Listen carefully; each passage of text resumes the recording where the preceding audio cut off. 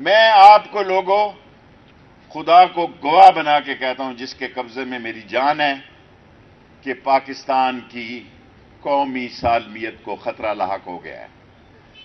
हम उस जगह जा रहे हैं कि लोग हमसे हमारे असासे लेने की बात करेंगे। हम भूखे मर जाएँगे। अपने बच्चों को भूखा बिलकता देख लेंगे। लेकिन इस मुल्क के कौमी असासे नहीं बेचने देंगे। बिलावल भुट्टो तुझे बेच देंगे। शबाज, तेरे गंदे कपड़े लंडे से भी कम कीमत पे बेच देंगे। हम इस पाक फौज और पाकिस्तान के साथ खड़े हैं। हम इस मुल्क के असासों पर जिन आलमी ताकतों की नज़र है, इनको कोई पैसा नहीं मिलने लगा। हिम्मत नहीं हारनी लोगों, अपने पड़ोसियों का ख्याल रखो। तमाम गली महलों में निकल जाओ। मैं खुद हर रोज एक मोहल्ले में आया करूँगा। मेरा आपसे वादा है, मैं कोई इलेक्शन की सूरत हाल को मैं जानता हूँ, लोगों को मायूस नहीं करना चाहता। ये इलेक्शन से भागे हुए लोग हैं। मैं मीडिया के सामने कहता हूँ, ये तेरह पार्टियाँ इस काबल नहीं है इलेक्शन में जाए। नब्बे दिन इलेक्शन आइन कहता है कि तारीख आनी चाहिए और ये फवाद चौधरी को गिरफ़्तार करें। किसी और को भी हमें भी कर दें। क्या है जी?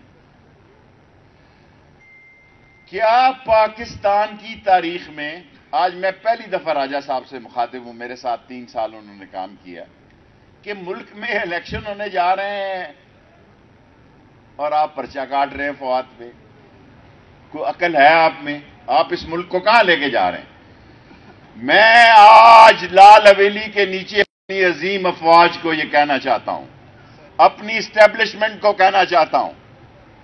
मैं अपनी अजीम फौज को यह कहना चाहता हूँ कि हमारा जीना मरना पाकिस्तान के साथ है और हम पाकिस्तान में खाना जंगी को देख रहे हैं और जमहूरियत को शदीद खतरा लाक है। और आप अगर ये सोच रहे हैं कि इस मुल्क में ये चोर, चक्के, डाकू, ये तेरह बंदों के तो किसी को नाम ही नहीं पता। कहते हैं, हम खर्चा कम करने लगे हैं। सतर गुजर हैं सतर जिसमें अट्ठाईस के पास महकमे ही नहीं है। सतर गुजर हैं, अट्ठाईस के पास महकमे ही नहीं है। बिजली का बिल इस महीने जब ये देने जाएँगे लोग तो शबाज शरीफ साहब, नवाज़ शरीफ साहब आपके बयानिए को हमसे ज़्यादा आपने, आपको तो यही था ना कि हमारी हुकूमत ना रही मर तो नहीं है इमरान खान आगे से बेहतर पोजीशन में है। उसकी जान लेने की कोशिश की गई है। उसको जहर भी दिया जा सकता है। उसको स्लो पॉइजनिंग भी की जा सकती है। उसको गिरफ़्तार भी किया जा सकता है। इन सारी चीज़ों के लिए हम कानून और आइन के दायरे में रहते हुए लाल हवेली अपना किरदार अदा करेगी। जिद्दोजहद में हम इमरान खान के साथ खड़े हैं, चट्टान की तरह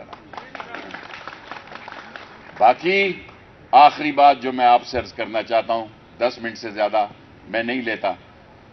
आखिरी बात यह अर्ज़ करना चाहता हूँ कि मीशत तबाह है, सियासी अदम इस्तेकाम है, समाज तबाह है तोानाई तबाह है, बिजली नहीं है, गैस नहीं है, लोगों के पास कब्र के पैसे नहीं है, मीडिया वालों सुन लो, सारे मीडिया मालकान सुन लो, खुदा के लिए अपने इन कैमरा मैनों को कब्रस्तानों में भेजो, आबादियों में भाव मंडी का ना पूछें।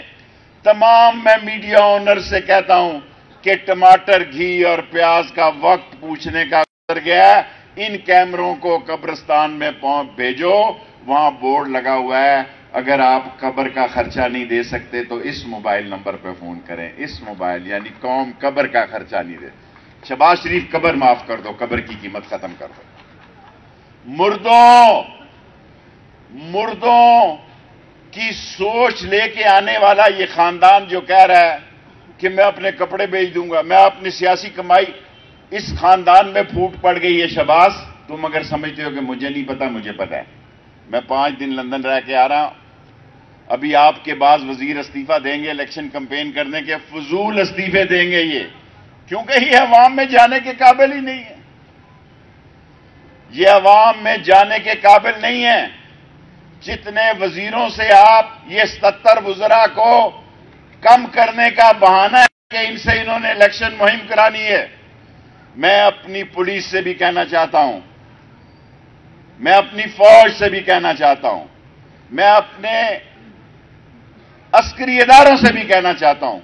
खुदा के लिए। अवाम ही फौज है।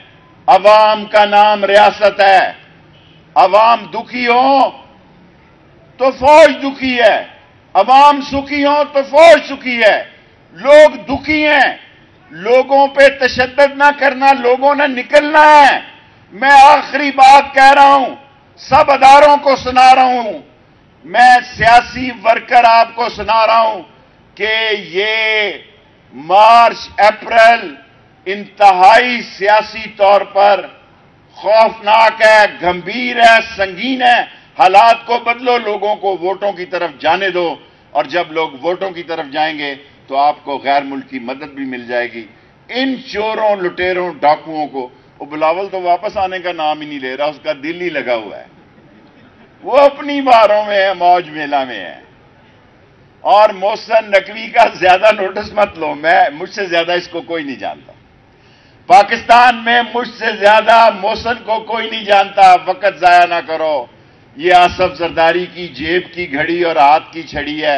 उसका मनी लॉन्ड्रर है। उसकी मनी इकट्ठी करके बाहर भेजने वाला एहलकार है। और मूनस ने मुझे कहा, मैं किसी पे गैबत का इल्ज़ाम नहीं लेना चाहता। मूनस ने मुझे कहा कि, शेख रशीद, परवेज, हम दोनों भाइयों को लड़ाने का सारा करदार मूनस ने अदा किया और उसने मोहसन ने अदा किया। मूनस ने मुझे कहा कि सारी पेमेंट जो इमरान खान की गवर्नमेंट की मनी चेंजर में हुई, ये सारे पैसों का लेन देन इसके ज़रिए हुआ। मूनस ने ही मुझे ये कहा कि शेख रशीद, उसे वक्त से पहले पता था कि ये ऐसी गेम खेलने जा रहे हैं। एक ही गेम है। लास्ट मेरा फिक्रा सुनने। इनकी एक ही साजिश है कि इमरान खान को माइनस किया जाए, इमरान खान को मकबूलियत की उस मेराज पर ना रखा जाए कि वो दो तहाई ना ले सके, वो दो तहाई ना ले। लेकिन याद रखो, जो आदमी पर्ची इनके पोलिंग स्टेशन से कराएगा, वो भी जाके इमरान खान को वोट डालेगा। ये वन वे इलेक्शन होगा। और ये दोनों सूबाई असम्बलियों में आपको पता लग जाएगा, ये वन वे इलेक्शन है। आपने इश्तजाज पे जाना है इलेक्शन कमीशन तक। राशिद साहब का इसरार है। राशिद साहब को मैं और सारी पीटीआई को मेरी तरफ़ से इजाज़त है पुरमन जाना है। किसी चीज़ को कोई आपके साथ ज्यादती भी करे तो आपने नहीं करनी। अभी दो महीने इंतज़ार करना, नब्बे दिन की जंग है, सौ दिन की जंग है। इन ताला पाकिस्तान जीतेगा, अवाम जीतेंगे आप जीतेंगे इमरान खान जीतेगा और गरीब आदमी जीतेगा पाकिस्तान के अंदर